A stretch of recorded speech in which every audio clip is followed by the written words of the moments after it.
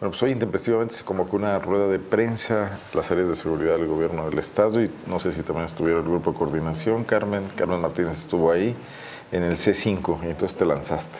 Sí, hola, pues buenas tardes. Ya se le está haciendo costumbre eh, convocar de última hora para presentar resultados en materia de seguridad y pues nos fuimos a una, a una rueda de prensa como le conocemos acá de bomberazo a las 10 de la mañana en Con las instalaciones del jerarcas C5. de la seguridad. Sí, sí, bueno, hoy no estuvieron todos porque hay ocasiones en las que sí están presentes todos. En esta ocasión nada más estuvo el procurador Carlos Amarripa, eh, este, eh, Organitos, 10 Organitos. Y El general. El general 10 Del- Organitos, sí. ajá, representante de la Policía Federal y el secretario de Gobierno, eh, también Gustavo Rodríguez Junquera, para analizar cuáles son o cuáles... eh, Faltaba han sido Álvaro. Vaca. Sí, y el gobernador que anda de viaje.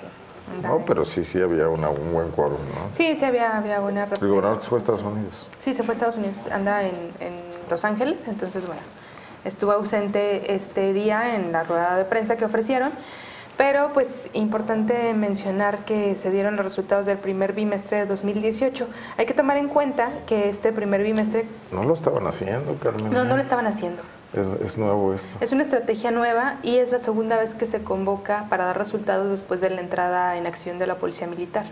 Convocaron una vez que fue el 30 de, de enero para anunciar el funcionamiento de, de la Policía Militar, para dar el arranque. Convocaron después el día 10 de febrero para los resultados a los primeros 10 días y convocaron en esta ocasión, ¿no? ya 10 de, 9 de marzo, casi un mes, para dar los resultados del primer bimestre. ¿Estamos mejorando? ¿Qué dicen ellos? Híjole. Ellos siempre dicen que estamos Pues ellos mejorando. mencionan que eh, sí hay mejoras. Díaz Organitos mencionó que hay mejoras, sobre todo en el municipio de León, que aquí es curioso, ¿no? La declaración que dice, hay, hay mejoras en el municipio de León porque hubo días en los que no se presentó ningún homicidio. Esa es para ellos una mejora considerable. Un día sin un homicidio es ¿Y una... la evolución de las cifras globales? ¿Qué les dice? No, yo, yo Después de considero... enero, enero fue un desastre. Sí, yo considero que no hubo una mejora realmente significativa porque, eh, en, primero para empezar, en el mes de enero se, re- se reportaron 172 homicidios y en febrero 156. O sea, en realidad la diferencia no es demasiada. Hay que considerar que febrero tiene menos días Menos que enero. días. Y además ya existe aquí en el, en el mes de febrero la participación de los elementos de la brigada militar. Entonces, bueno, creo que no fue un cambio considerable, no fue un- una reducción significativa y pues eh, es una cuestión que hay que Aparecieron analizando. narcomantas en este, en este mes. También, y bueno, también hay que considerar que muchas de las víctimas en este momento pues son menores, ¿no? víctimas colaterales que también han sido, han sido ahí victimizados y criminalizados por las Tema del que se habló, según entiendo, porque después de lo que han dicho ayer se les vino una ola de críticas. Sí, sí, sí, sí, también hubo ahí este, señalamientos al respecto, pero bueno, en cuanto a las cifras, pues Díaz Organitos mencionó, el general Díaz Organitos dijo que efectivamente ¿no? en la zona de los municipios de Apaseo el Alto, Paseo el Grande y Celaya hay cuestiones que están fallando en la estrategia y que se van a estar revisando para poner mayor énfasis en estos municipios, considerando que bueno, no hay, no ha descendido ahí el, el- el número de El homicidios. que susto el de ayer a los policías, eh, los agentes de investigación criminal, como se les llama a los policías que antes eran ministeriales federales, eh, donde aparentemente se les intentó secuestrar, se logró frustrar por una rápida movilización. ¿De eso no se habló? No, de esto no platicaron al respecto, nada más mencionaron que bueno, sí se está dando atención a los homicidios pues de elementos de las diferentes fuerzas, de las diferentes corporaciones de seguridad y que es el tema que tienen por el momento. Entonces, pues yo creo que son resultados que presentan, resultados que a mi parecer, digo, como reportera y como ciudadana, no son los resultados que nosotros deseamos. ¿Hubo oportunidad de preguntar? ¿Se dio alguna? Sí, sí hubo oportunidad de preguntar. La verdad es que las, las respuestas siempre vienen en el sentido de cantar victoria, de resaltar los pocos No de resultados que se han ido. No, de explicar, no. Es más propaganda que información. Sino de, y aparte es el discurso, ¿no? Que hay coordinación entre el grupo de seguridad, que siguen revisando cuál es la estrategia, que van a revisar si hay algunas fallas. Entonces, en realidad, un tema como tal, un discurso como tal, o una explicación al respecto no la hubo.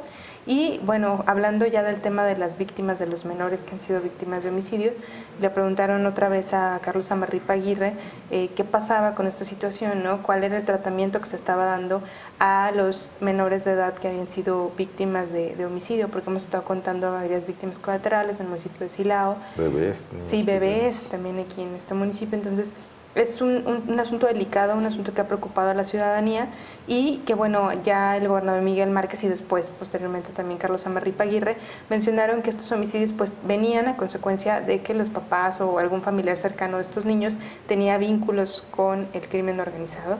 Y bueno, esta era una forma como de justificar, o evadir la responsabilidad, de decir, bueno, pues es que ahí hay una conexión y pues ¿no? Es, ya prácticamente el discurso. Sí, en lugar de hablar de que hay grupos violentos actuando en Guanajuato que están llegando a estos extremos, lo cual es una situación preocupante y que el Estado debería estar metido en una respuesta conforme a lo que marque la ley.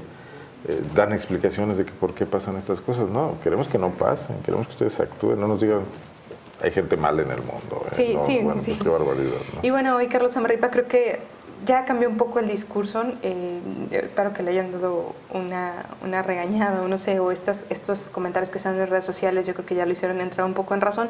Y lo que menciona ahora es que si bien si hay en la mayoría de los casos una relación, no es una justificación para que los niños sean víctimas, porque ellos no tienen una relación directa con el crimen organizado. Entonces menciona que lo que van a estar haciendo es darle prioridad a las investigaciones que lleven menores eh, para poder resolver los casos y además señaló pues que la propia Procuraduría de, Justicia del Estado tiene un fondo de atención a víctimas y que este fondo está dando aproximadamente 200, 200 eh, ayudas de manera mensual a las personas que han sido víctimas de algún delito, incluyendo el homicidio, y que bueno, estos fondos también van a ir canalizados principalmente a las familias que eh, padecieron esta pérdida pues lamentable ¿no? de un menor de edad. Sí, porque han matado, por ejemplo, a sobrinos, niños que van con sus tíos, no con sus papás. Con sus abuelas pues, también, sí. Bueno, está bien. Pues bueno. la capacidad de rectificar es importante y no persistir en los errores. Márquez también lo dijo, el, esperamos que en su momento también sea más cuidadoso con sus declaraciones, porque es el gobernador y es un líder eh, de opinión como tal, ¿no? y su, opinión importa. Importa sobre todo al interior del propio gobierno. Si, si el gobernador justifica abajo pues mundo contento, ¿no? Pues ya lo dijo el gobernador. Sí, ya ahí se pueden respaldar. La señal que manda no es buena. Carmen, gracias. A ti, Fue lo más relevante entonces ahí, en la cuestión de seguridad. Bueno, y vamos a ir a un enlace telefónico con Alfonsina Ávila.